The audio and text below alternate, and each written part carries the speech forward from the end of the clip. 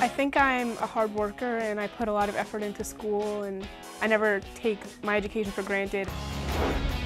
I like to have really high goals because, you know, you achieve a goal and then you push on even more. Friends are someone to have your back, and uh, I have great friends. I honestly like myself. I, I really do think I am a good person. I feel that just having a really good positive attitude is the main thing that helps.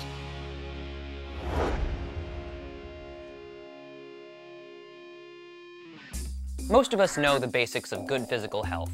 A proper diet, exercise, taking care of yourself to avoid getting sick. But what about good mental health? This too is important for living happy, fulfilling lives. Just as a balanced diet and exercise are hallmarks of good physical health, there are hallmarks for good mental health. And that is what this program is all about to get us thinking about what it means to be mentally healthy.